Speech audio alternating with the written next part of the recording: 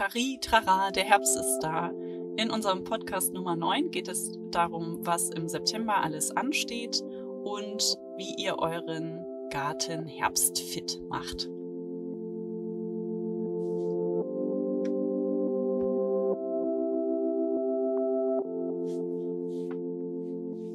Heute ist der 1. September und damit meteorologisch gesehen Herbstanfang. Ja, das kam dieses Jahr wieder mal überraschend und irgendwie ganz schön früh. Und äh, ich muss sagen, wir sind noch lange nicht bereit für den Herbst gefühlt. Ähm, geben euch jetzt aber mal einen kleinen Überblick, was man im September und Oktober so alles machen sollte im Garten, was so Vorbereitung auf den Winter ist, aber auch, was man noch Schönes machen kann. Denn bei uns steht noch die große Ernte, glaube ich, im Raum. Ja, wir haben viel vor, viel zu ernten. Wir haben irre viel Kürbisse, die wir gerettet haben. Und wir haben viele, viele Tomaten, die bald hoffentlich rot werden. Wir können es kaum erwarten, weil das Gewächshaus ist voll und überall hängen kleine grüne Kügelchen. Ja, die müssen noch, die müssen noch rot werden, auf jeden Fall. Und also da werden bestimmt einige jetzt noch im September reif werden und was gut ist, man kann die ja dann zum Glück, wenn sie ihre, ihre passende Größe haben, kann man die ja auch schon ernten, auch grün und dann legt man sie sich einfach auf die Fensterbank oder irgendwo, wo es ein bisschen sonnig ist in der Wohnung und dann reifen die zum Glück nach. Das geht. Da Warum hat man, darf man keine grünen Tomaten essen? Die enthalten Solanin und das ist nicht gerade gesund für den Menschen. Das ist wie, das ist wie bei den Kartoffeln und das ist ja giftig. Ich weiß es nicht genau, wie es wirkt, aber es ist nicht gesund. Mhm.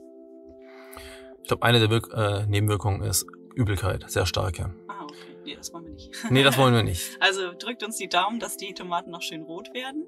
Und im nächsten Jahr fangen wir dann ein bisschen früher damit an. Weil es doch, also wir haben gemerkt, wir waren relativ spät dran, die rauszupflanzen, weil wir eben noch unser Gewächshaus fertig machen mussten vorher. Und haben auch gemerkt, also im Norden es braucht halt viel Sonne, bis die rot werden und ähm, auch ein bisschen Dünger und bisschen Liebe und Ausgeizen und all solche Dinge, was wir natürlich gemacht haben. Aber am Ende ist es dann doch äh, im Süden etwas sonniger, würde ich sagen. Es ist ein bisschen mehr Tomatenklima. Es ist, ja, das stimmt auf jeden Fall. Aber man darf nicht vergessen, die Eisheiligen sind ja irgendwann Mitte Mai. Und dann ist, ja, es ist im Norden dann doch kühler, das merkt man. Die Pflanzen bei meinen Eltern, die sind doch ein wenig schneller gewachsen und äh, da sind die ersten oder schon einige Tomaten rot geworden.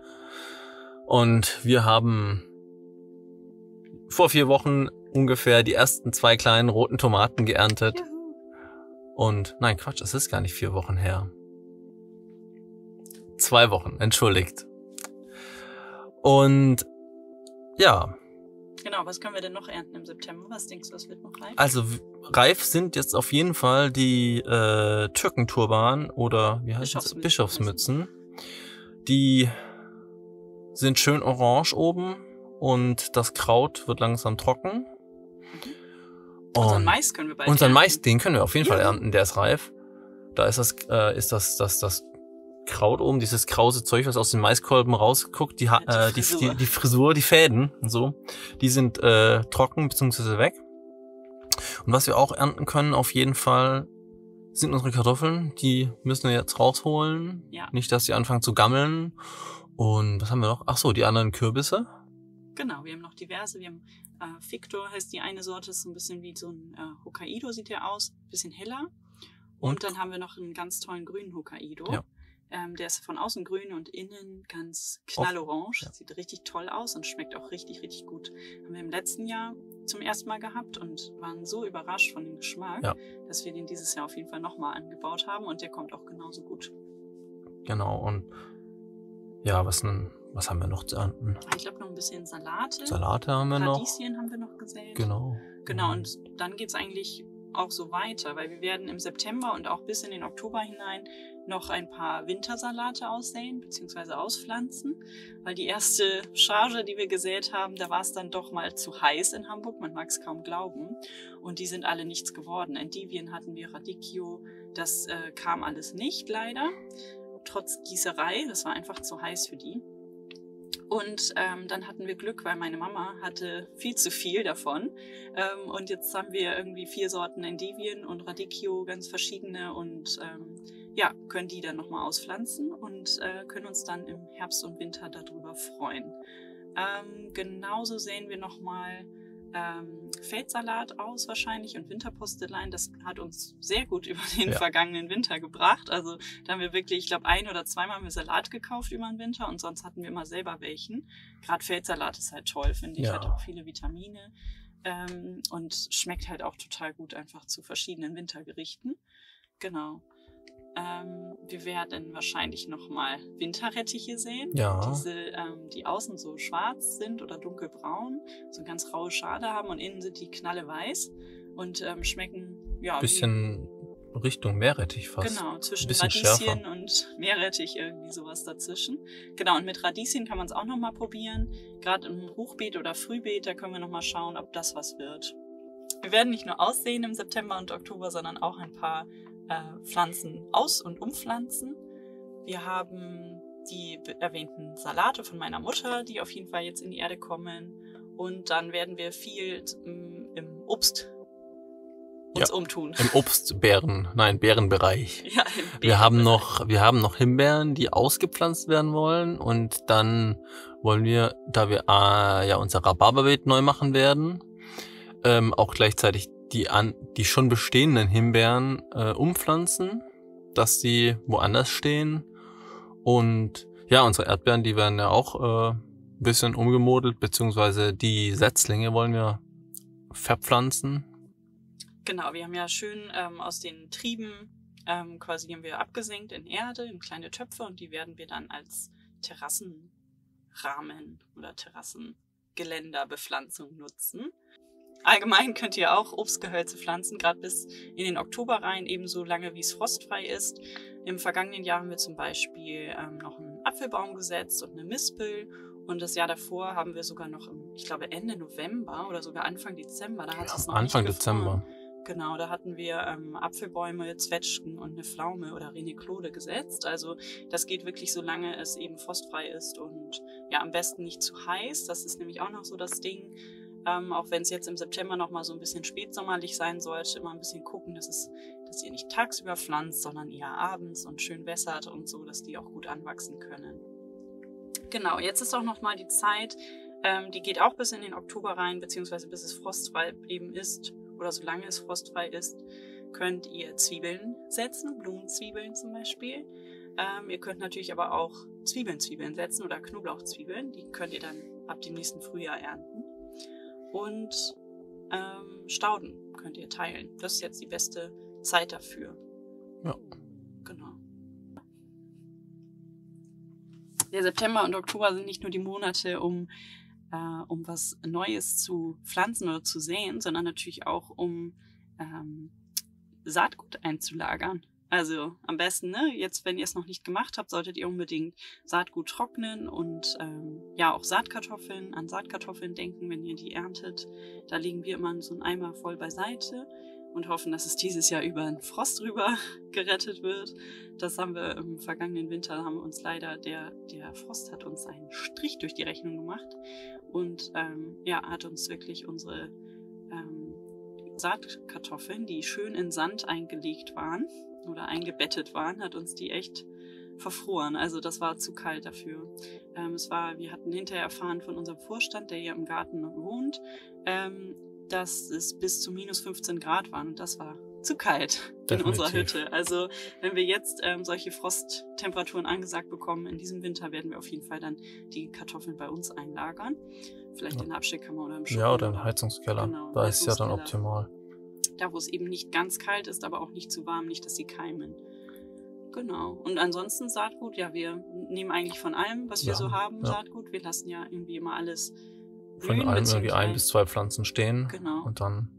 Und haben ganz viel Salate ähm, so geerntet und Erbsen, die wir aussehen können. Ähm, jetzt müssen wir mal überlegen, Möhren haben Kohl, wir vom letzten Möhren, Jahr, genau, Kohlsorten. Rote Beete, Mangold. Ja, haben wir alles selbst sozusagen. Selbst und viel. Selbst und viel, genau. Da machen wir vielleicht sogar noch eine kleine Verlosung ja. über den Winter rüber, weil wir wirklich irre viel. Wir haben eine, nee, zwei rote Beete ähm, Pflanzen stehen lassen und die haben Unmassen an Saatgut produziert. Das ist unglaublich. Das ist Wahnsinn, wie viel an einer Pflanze dran ist. Also da ist auf jeden Fall rote Beete satt, ja. würde ich sagen, die nächsten Jahre. Da kann man theoretisch einen Acker mit anlegen. Einen Acker mit anlegen. Oh, das ist ein gutes Stichwort. Äh, Im September und im Oktober könnt ihr natürlich die Beete, die ihr fürs nächste Jahr nutzen wollt, perfekt ähm, vorbereiten. Bei uns sieht das so aus, dass wir die, die alten Beete, zum Beispiel jetzt die Kartoffelbeete oder Pyramiden, dass wir die aber einmal abbauen abnehmen und dann ähm, Gründüngung aussehen zum Beispiel. Unsere Hochbeete, da muss man in einigen ein bisschen nachfüllen. Die sind ganz schön abgesagt über die, vergangenen anderthalb Jahre, die wir die genutzt haben. Und da werden wir eine Schicht Kompost drauf betten. Ähm, ja, Stichwort Kompost. Wenn ihr einen schönen Kompost habt, ähm, dann könnt ihr den einmal umschichten, so im September, Oktober.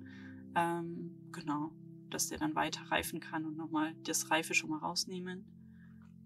Genau. Und natürlich, wenn ihr neue Beete haben wollt im, neuen Jahr sozusagen. Dann kann man die natürlich jetzt anlegen. Das könnt ist ihr die jetzt perfekt. anlegen, weil dann könnt ihr schon mal den Boden vorbereiten, zum Beispiel durch Abdecken, ne, dass das Gras da verschwindet oder ihr ähm, ja, befüllt schon mal Hochbeete fürs nächste Jahr, dann kann ja. das schon mal arbeiten und sich die Organismen da alle schön ansiedeln. Ist auch die perfekte Zeit, sowieso, wenn man jetzt anfängt mit Baumschnitt und so Geschichten, dann kann man das, äh, was ich gerade bei Obsthölzern, Hölzern, äh, das direkt unten reinlegen ins Hochbeet. Ja, das ist so praktisch. Das haben wir im vergangenen Herbst eigentlich gemacht. Ne? Das, das haben Jahr wir, davor. Ja. Genau, wir haben alles, zwar nicht so viel, so viel Obst gehölzt, deswegen war das dann spärlich und ja. musste anderes Holz noch herhalten, aber das ist die optimale Zeit. Genau, ja, ihr könnt genau Obstgehölze jetzt beschneiden, ähm, den sogenannten Sommerschnitt macht man so im September. Ähm, aber auch nochmal andere Dinge. Also Rosen könnt ihr nochmal zurückschneiden. Ähm, was schneiden wir immer noch so im Herbst? Also klar, unsere Hecke ähm, schneiden wir im September nochmal ordentlich. Ähm, und halt so alle möglichen Gehölze, was uns so über den Sommer rüber gewuchert ja. ist. Das kann man jetzt nochmal Holunder werden wir ordentlich beschneiden. werden wir ordentlich zurückschneiden, äh, nach genau. Ernte, Dann genau. Und ähm, genau, da ist auch wichtig eben, alles, was ihr da schneidet, ähm, muss auch vor dem ersten Frost passieren, weil sonst äh, friert es eventuell in die Pflanze rein und das ist natürlich nicht so gut. Ähm, genau, Frostschäden könnt ihr auch schon vorbeugen, indem ihr zum Beispiel so die, die Stämme von Obstbäumen weißelt oder sowas. Dann ähm, genau entstehen eben nicht im, äh, im Frühling solche Frostschäden. Und vielleicht bleiben dann die Hasen weg. Ähm, das machen wir erst später im Jahr, erst so um den ersten Frost hin. Da werden wir wieder unsere kleinen Bäumchen alle sichern mit äh, Draht und so. Wir haben ja immer ja. Besuch vom Feldhasen. Oh, der ja. vergangenes der Jahr unseren Obstschnitt gemacht hat. Da hatte ich mich ja so gewundert und dachte, dass Florian heimlich oder ohne mich zu fragen irgendwie irgendwas die, geschnitten hab. Die äh, Pflaumen und Zwetschgen da äh, beschnitten hat und ich war so überrascht, weil eigentlich mache ich das ja immer und ähm, dachte dann so, hm, da ist aber radikal jemand beigegangen. Dachte so, hä, warum hast du die dann so doll beschnitten? Es sah wirklich aus wie abgekappt, ne? so richtig durchgesägt. Das und war ähm, da waren wir dann beide Schnitt. sehr da überrascht. sehr überrascht genau. und sehr ja, manchmal knabbern die nur die Rinde ab, wenn das ganz lecker ist. Mm, und manchmal fressen die aber auch die kleinen Äste und Zweige ab. Also, naja, und die haben echt scharfe Zähne scheinbar. Mhm. genau. Also den Obstschnitt machen wir dann lieber selber. Genau. Und ähm, ja, wir überlegen auch noch, ähm, wir überlegen auch noch, unseren Rasen nochmal auf Vordermann zu bringen. Der ja. hat dieses Jahr und auch vergangenes Jahr durch die Hitze ziemlich gelitten. Und ähm, was bedeutet, dass der Rasen nicht weiter gewachsen ist, sondern eigentlich nur so Kraut. Also wir haben eine wunderschöne Schafgabenteppichwiese. Das ist aber die Frage, ob man das so haben will.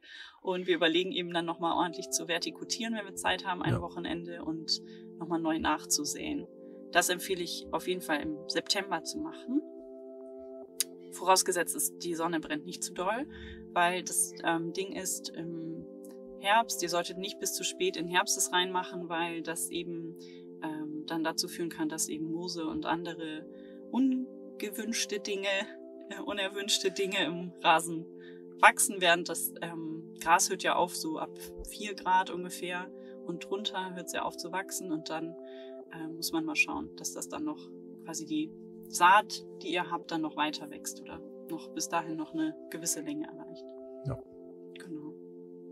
Aber erfahrungsgemäß ist ja so, der erste Frost kommt meistens bei uns so im November, Ende November, Anfang Dezember. Die ersten leichten Fröste. Mal so. gucken. Das ist ja momentan alles immer so ein bisschen, wie es Lust hat. Also, ich finde auch, das Wetter ist super und was ja auch bei dem, beim Rasen das Problem war, ist, dass einfach, es war nicht kalt genug fürs Moos. Also, das, äh, also, heißt, es muss einmal richtig, es muss mal richtig frieren, dass das Moos einfach nicht, äh, keine Chance hat, sich da zu bilden, weil Moos mag ja diese kalte Feuchte auch.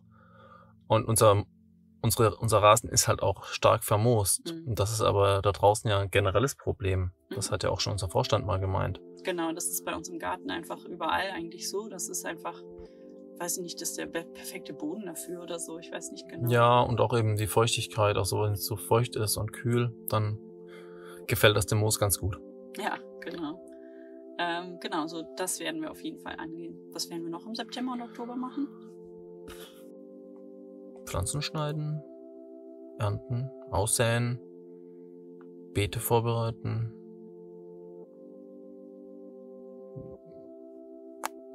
Sonne genießen. Ja, ich hoffe auch, dass wir noch ein paar sonnige Stunden genießen können. Ähm, ja, pünktlich zum Ende August hat ja das Wetter wieder auf Sommer umgeschaltet, nachdem es vorher schon sehr herbstlich war. Und wir hoffen, dass dann natürlich das Wetter so ein bisschen sich weiter in den September reinzieht. Wobei man natürlich schon merkt abends, dass es echt kühler wird, ne? Sobald Ja, und es wird auch wieder so schnell dunkel und Genau. Ja, ja, es geht schon auf, auf die Winterzeit zu irgendwie. Das, ich finde das immer wieder verrückt, ähm, wie kurz eigentlich der wirkliche Sommer so ist, Ja, auch gerade in das ist Hamburg. krass. Ne? Also, ja. Aber ähm, ja, irgendwie gibt's immer was zu tun. Und ähm, ich finde auch toll, dass eben dann im Herbst, äh, ja, blühen ja nochmal so ein paar schöne Pflanzen. Ähm, gerade wenn man da die richtigen ausgesät hat oder gesteckt hat, auch Zwiebeln.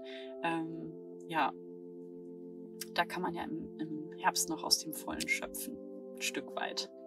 absolut. Haben wir etwas vergessen?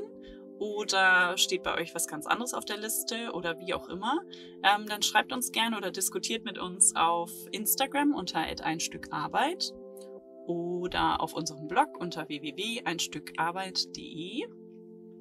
Und in diesem Sinne werden wir jetzt äh, in unseren Garten gehen, noch ein bisschen ernten und wünschen euch noch einen schönen Sonntag. Ja, macht's gut. Bis bald. Bis bald. Tschüssi. Ciao.